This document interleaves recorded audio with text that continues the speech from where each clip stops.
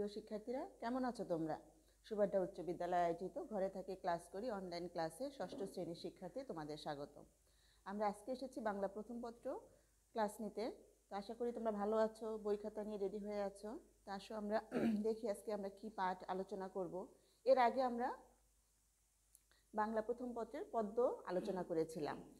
তো আজকে দেখো আমরা গদ্যাংশ থেকে আলোচনা করব।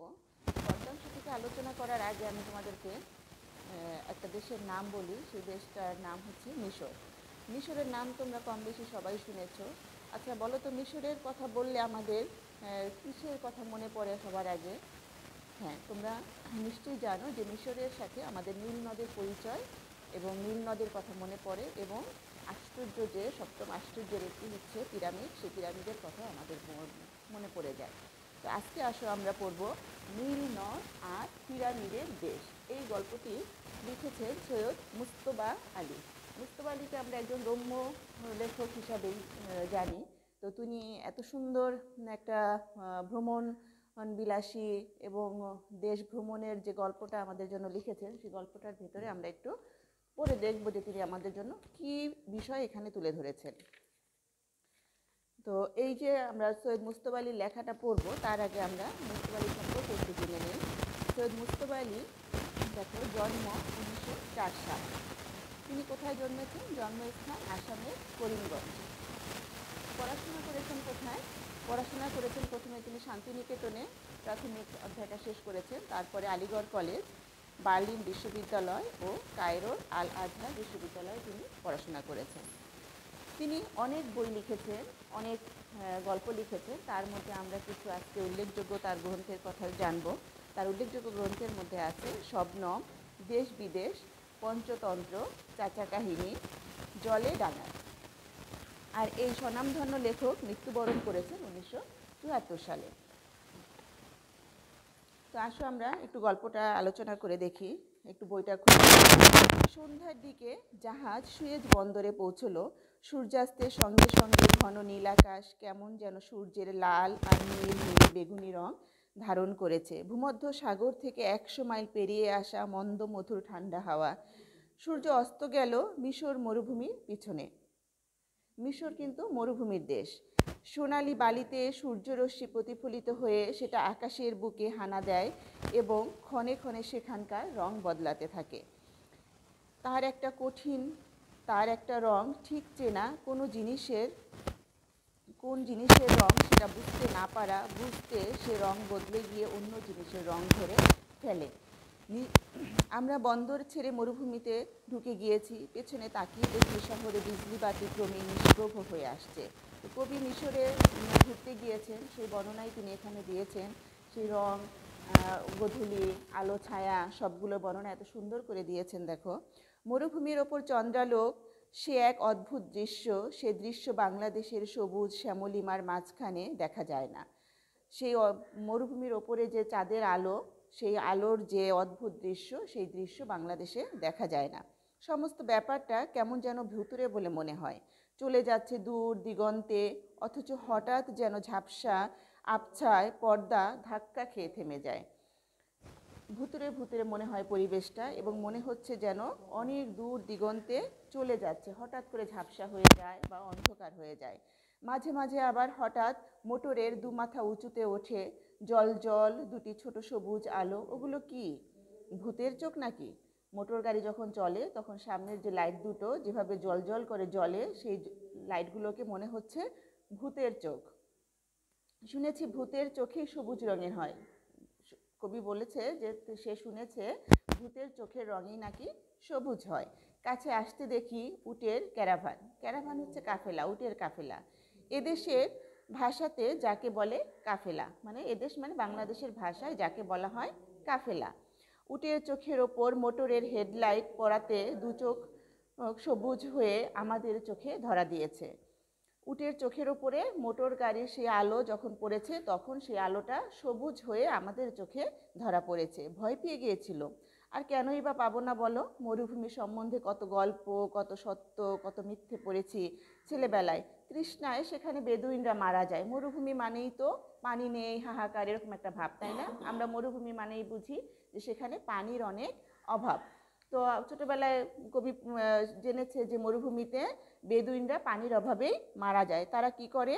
তাদের উচ্চের চেয়ে প্রিয়তম উটের গলা কেটে উটের কোটরে যে পানি জমানো থাকে, সেই পানি তারা পান করে।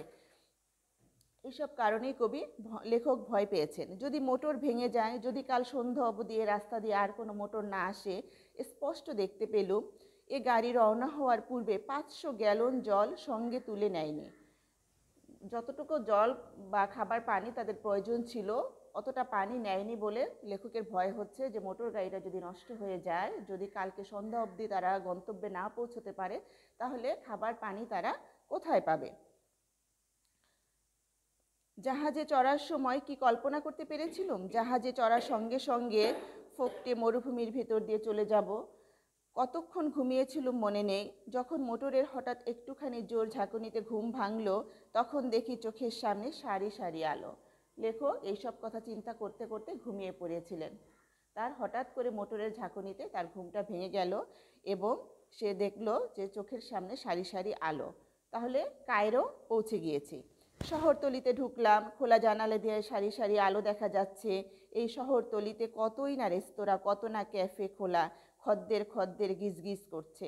রাত তখন এগারোটা। কিন্তু শহরে এসে লেখকের সমস্ত ধারণা ভুল হয়ে গেল এবং দেখল যে অনেক রেস্তোরাঁ খোলা আছে ক্যাফে খোলা আছে অনেক মানুষ বা যারা কেনাকাটা করতে এসেছে সেই খদ্দের গিজগিজ করছে। রাত তখন এগারোটা। আমি কিসের বড় আমি বিস্তর বড় বড় শহরে দেখেছি কায়রোর মতো নিশাচর শহর কোথাও চোখে পড়েনি। কায়রোর রান্নার খুশবায়ে রাস্তা ম ম করছে। কায়রো শহরের মতো এমন শহর লেখক আর দেখেনি। সেখানে খাবারের গন্ধে শহর মো মো করছে। মাঝে মাঝে নাকে এসে এমন ধাক্কা লাগায় যে মনে হয় নেমে পড়ে এখানেই চারটি খেয়ে যায়। অবশ্য রেস্তোরাঁগুলো আমাদের পাড়ার দোকানের মতো নোংরা। সবাই নিকটতম রস্তো- রেস্তোরাঁয় হুড়মুড় খেয়ে ঢুকলুম, কারণ সবাই তখন ক্ষুধায় কাতর। তড়িঘড়ি তিনখানি ছোট ছোট টেবিল, একজোড়া করে চেয়ার সাজিয়ে আমাদের বসার ব্যবস্থা করা হলো। রান্নাঘর থেকে স্বয়ং বাবুর্চি ছুটে এসে তোয়ালে কাঁধে বারবার ঝুঁকে ঝুঁকে সেলাম জানালো। মিশরীয় রান্না, ভারতীয় রান্নার মামাতো বোন। তার মানে কাছাকাছি। অবশ্য ভারতীয় মোগলাই রান্নার বারকোষ হরেক রকম খাবারের নমুনা, তাতে দেখলুম রয়েছে মুরগি মুসল্লম শিক কাবাব, স্বামী কাবাব আর গোটা পাঁচ ছয় অজানা জিনিস। আমার প্রাণ অবশ্য তখন কাঁদছিল, চারটি আতপ চাল, উচ্ছে ভাজা, সোনা মুগের ডাল, পটল ভাজা আর মাছের ঝোলের জন্য। কিন্তু লেখকের মন চাইছিল এইসব খাবার না তার আতপ চালের ভাত, একটু পটল ভাজা, একটু উচ্ছে ভাজি এবং একটু ঝোল। এই সব খাওয়ার জন্য তার প্রাণটা আনচান করছিল। কাজেই শোক করে কি লাভ? বাংলাদেশের বাইরে তো আর এসব খাবার পাওয়া যাবে না। আহরাদি সমাপ্ত করে আমরা ফের গাড়িতে উঠলাম। ততক্ষণে আমরা কায়রো শহরের ঠিক মাঝখানে ঢুকে গিয়েছি। গন্ডায় গন্ডায় রেস্তোরাঁ, hotel, cinema, dance hall, cabaret খদ্দের তামাম শহরটা আবজাব করছে। কত জাত বেজাতের লোক। ওই দেখো, অতি খানদানি নিগ্র। ভেড়ার লোমের মতো কোকড়ানো কালো চুল, লাল লাল পুরু দুখানা ঠোঁট বোচা নাক, ঝিনুকের মতো দাঁত আর কালো চামড়ার কি অসীম সৌন্দর্য। নিগ্রোদের বর্ণনা দিয়েছেন এখানে লেখক। নিগ্রো নিগ্রো মানে আমরা কালো মানুষদের বুঝি। সেই মানুষটার যে চুলগুলো হচ্ছে ভেড়ার লোমের মতো কোকড়ানো, লাল লাল পুরো মোটা দুটো ঠোঁট এবং ঝিনুকের মতো ঝকঝকে দাঁত। এর মধ্যে ওদের সৌন্দর্য খুঁজে পেয়েছেন লেখক। আমি জানি এরা তেল মাখে না, কিন্তু আহা, ওদের সর্বাঙ্গ দিয়ে যেন তেল ঝরছে। ওই দেখো সুদানবাসী প্রায় ছয় ফুট লম্বা আর লম্বা আলখেল্লা পড়ছে বলে মনে হয়, দৈর্ঘ্য ছয় ফুটের চেয়েও বেশি। এদের রং ব্রোঞ্চের মতো, এদের ঠোঁট নিগ্রোদের মতো পুরো নয়, টকটকে লালও নয়। গল্পটা বেশ বড়, একটা ক্লাসে শেষ করা যাবে না, তাই আজকে আমি তোমাদেরকে এই পর্যন্তই পড়ালাম। এখান থেকে আসো আমরা কিছু এখন শব্দের অর্থ জেনে নেই। আমরা যেই পাঠটুকু পড়লাম, এর মধ্যে যে শব্দগুলো আছে, যে আমরা জানি না, এর আগে কখনো দেখিনি, শিখিনি, সেই শব্দগুলো এখন আমরা একটু আলোচনা করব।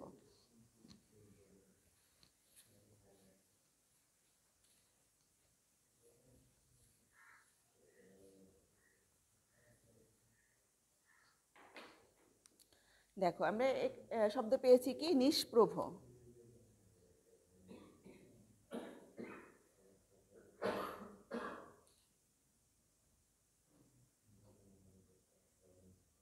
নিষ্প্রভ। নিষ্প্রভ হচ্ছে দীপ্তিহীন বা নিস্তেজ, ক্ষীণ আলো।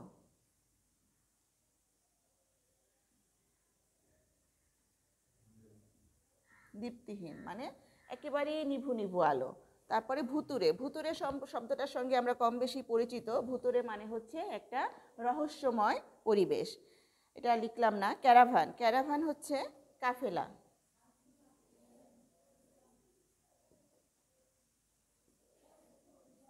ক্যারাভান শব্দের অর্থ হচ্ছে কাফেলা। মানে একসাথে অনেক লোক এখানে উটের কাফেলাকে বোঝানো হয়েছে যে উট নিয়ে একসাথে অনেক মানুষ যখন একসাথে এক স্থান থেকে অন্য স্থানে যায়, তাকে বলা হয় কাফেলা। বেদুইন।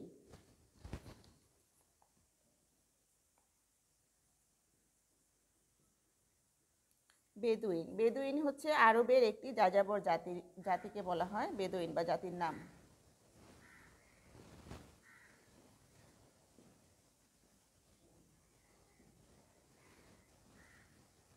একটি যাযাবর।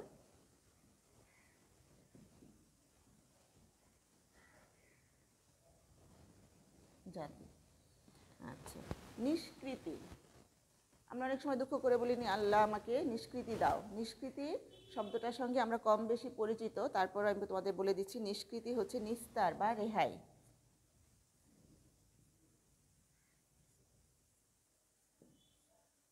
নিস্তার মানে এটা থেকে বের হওয়া বা কি বলে, অব্যাহতি পাওয়া। নিস্তার বা রেহাই। রেহাই। রেস্তোরাঁ।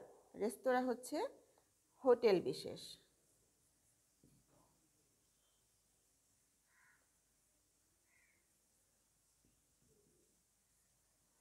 হোটেল। খাবার দোকানগুলোকে রেস্তোরাঁ বলা হয়।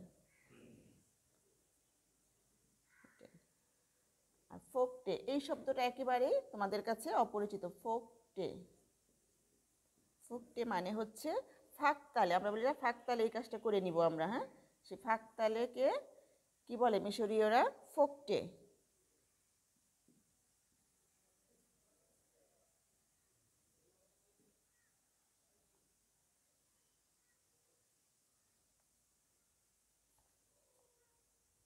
হুড়মুড় শব্দটার অর্থ আমরা জানি।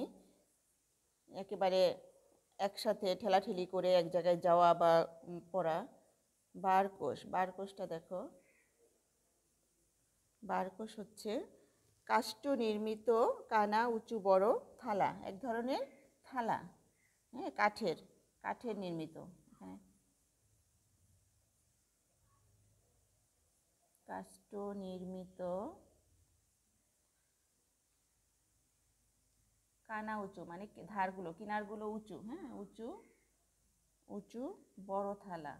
আমরা কিন্তু ছোটবেলায় এইসব থালা দেখেছি, কিন্তু এটাকে আসলে আমরা বারকোষ নামেই বলতাম, এটা আমার ছোটবেলার কথা বলতেছি, কিন্তু এখন আমি এটার আসলে সঠিক বর্ণনাটা পেলাম। বড় থালা। হচ্ছে ক্যাবারে।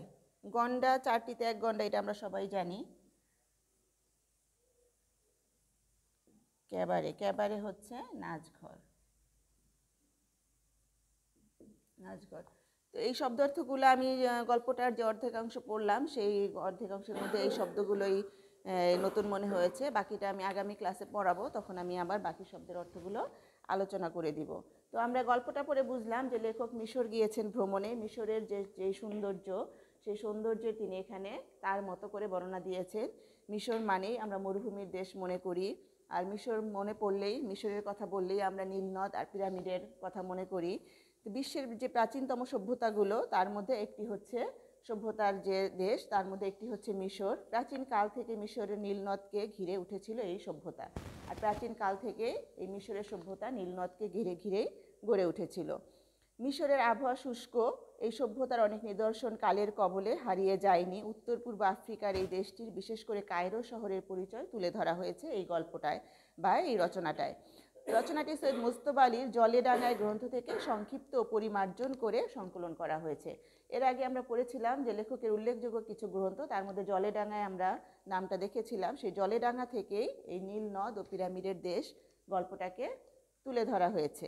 এই রচনায় এসেছে মরুভূমির কথা আর কায়রো শহরের অদূরে গিজগিজে অঞ্চলে অবস্থিত পিরামিড ও মিশরের ভুবন বিখ্যাত মসজিদের প্রাঙ্গণ, এই সব আমরা এই গল্পটা আরও যখন আমরা আস্তে আস্তে সামনের দিকে আগাবো, তখন আমরা আরও বর্ণনাগুলো জানতে পারব। তো আজকে দেখো, এই বর্ণনা এবং লেখক পরিচিতি আর কিছু শব্দের অর্থ তোমাদের সাথে আলোচনা করলাম। লেখক পরিচিতিগুলো পরিচিতির যে জন্ম তারিখ, মৃত্যু তারিখ, তার উল্লেখযোগ্য গ্রন্থ, তিনি কোথায় পড়াশোনা করেছেন, এই এই বিষয়গুলো তোমরা অবশ্যই মাথায় রাখবা। এগুলো থেকে তোমাদের বহু নির্বাচনী প্রশ্ন আসবে। আর তোমাদের একটু বাড়ির কাজ দিয়ে দিব আজকে আমি। বাড়ির কাজটা খাতায় তুলে নাও।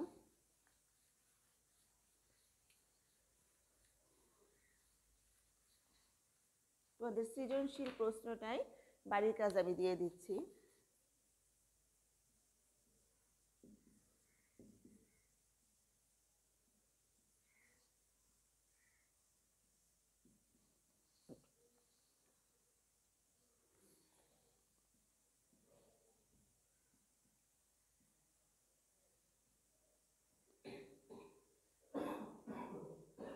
প্রশ্ন তোমরা নিজেরা নিজেদের মতো করে তৈরি প্রশ্নের উত্তর তৈরি করার চেষ্টা করবে। তো আজকে এই পর্যন্তই। ভালো থাকো, সুস্থ থাকো। আল্লাহ হাফেজ।